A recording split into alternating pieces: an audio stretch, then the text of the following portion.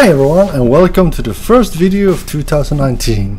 This is the Hitchhiker's Guide to ServiceNow and we're into episode 9 where we're going to talk about how to make certain items in the Service Catalog having mandatory attachments so the users need to attach one or two files perhaps before ordering the ticket.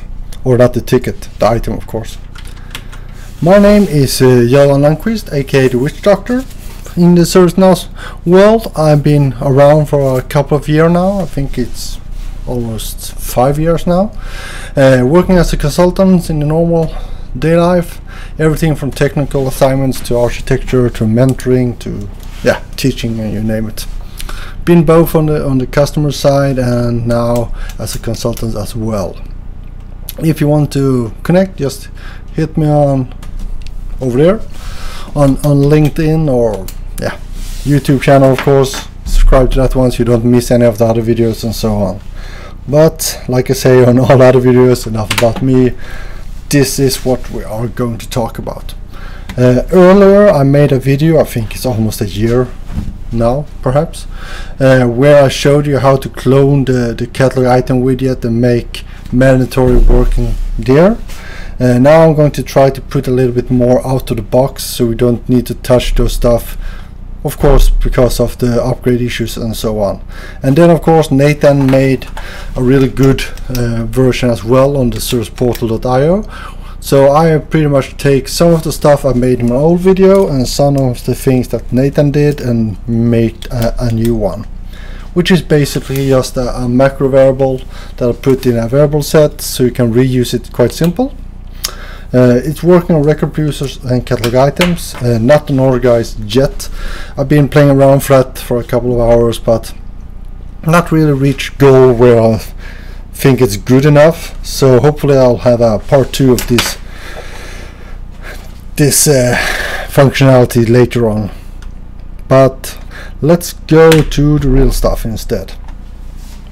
So basically before I start I want to show you my uh, old bad quality video which was one of the reasons I redo this one because people are asking me they can't really see what I'm showing and so on so hopefully you can use this one instead. Then I'll also use the service portal. Let me zoom in that one that's good enough.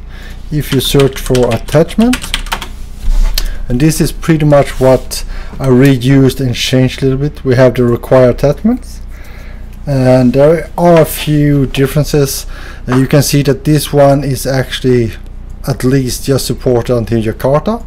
No idea if uh, if Nathan had had time to, to check the London one. One of the reasons that I changed more stuff on this one is that uh, when I committed it just truly out of the box it didn't really work as it should work because as you can see it has an attachment here which is basically a string field where Nathan hidden the input field.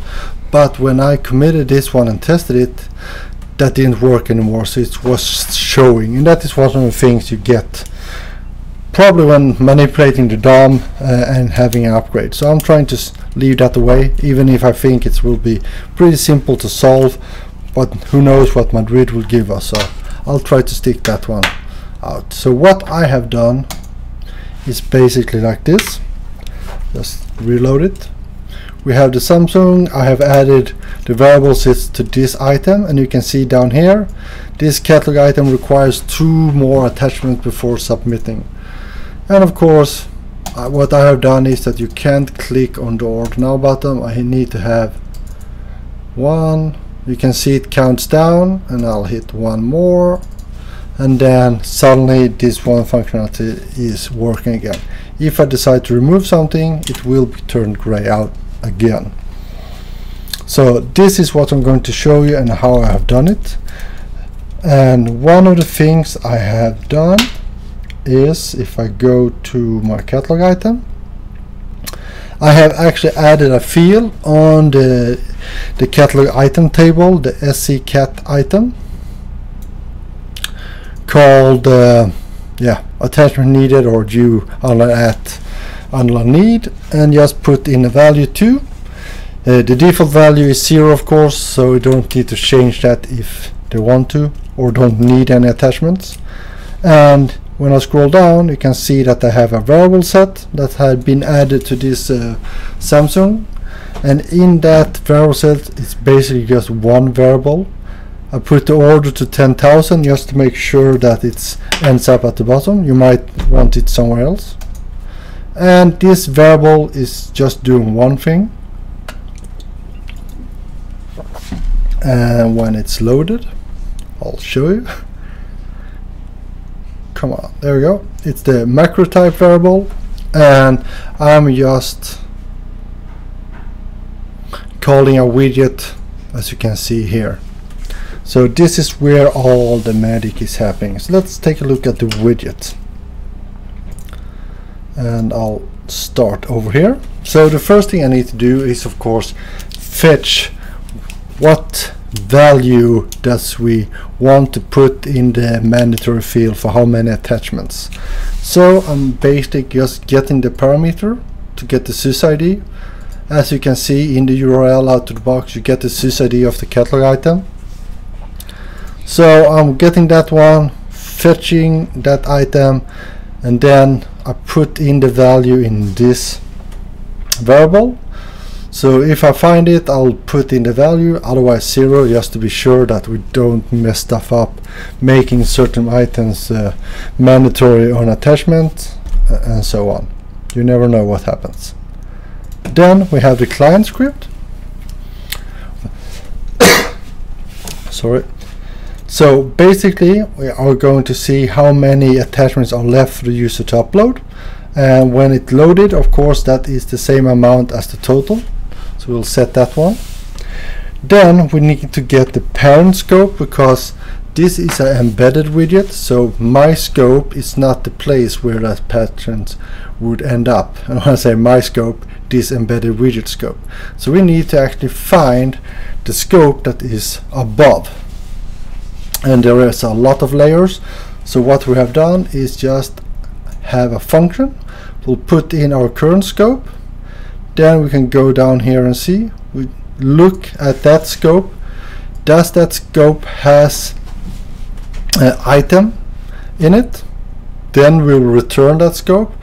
If it's not we check okay does it have a, a dollar sign parent? Yes it does. Then we just dig up another level calling ourselves again and just looping through. And somewhere on that way we will find a nice little item and then we will return that. That means that the scope.parent is hopefully the scope of the parent widget we have. Then we're using the angular watch to look at this variable meaning the parent dot attachment.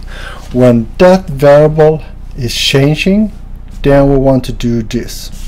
First thing we do of course is take a look does it have an attachment this is actually an array. So it puts each attachment gets into that array. So if that one exists it doesn't exist before you actually have any attachment if it does exist we measure the length of the array. Is that equal to or bigger than what we need? If it is we call this function which pretty much means that we enable to compress on the order now otherwise we keep it disabled. Take a look at this disable. What we actually can see is we calculate how many attachments are left until it gets enabled by taking the, the data needed minus of course how long the attachment array is.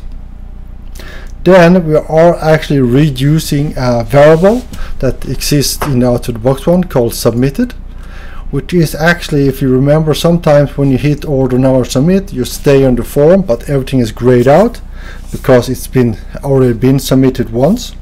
So we're actually saying that that one should be true. So that is why it gets grayed out when we don't have a notch of attachment.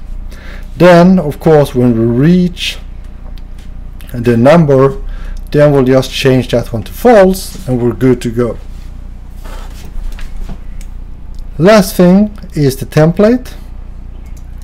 And basically I just done two things. I removed the styling below here because that isn't needed because that was for the attachment field and that is probably the place you need to to reconfigure if you want it to work the way uh, Nathan's out of the box wants.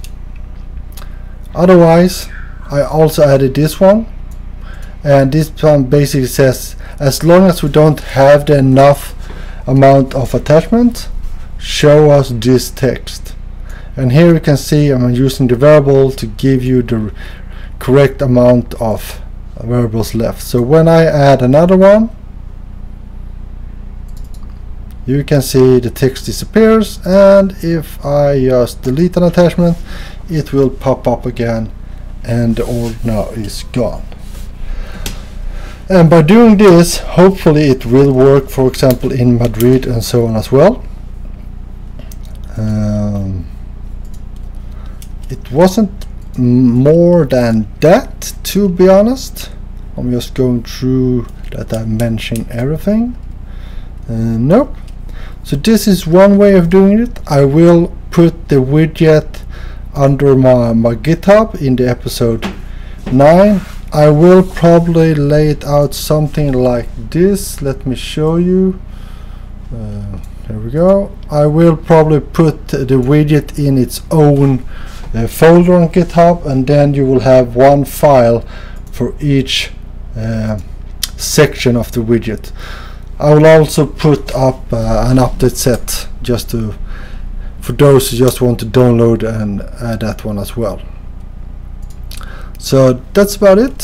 Hopefully you can uh, enjoy this one and help you on your journey on making the, the catalog items mandatory. So see you around.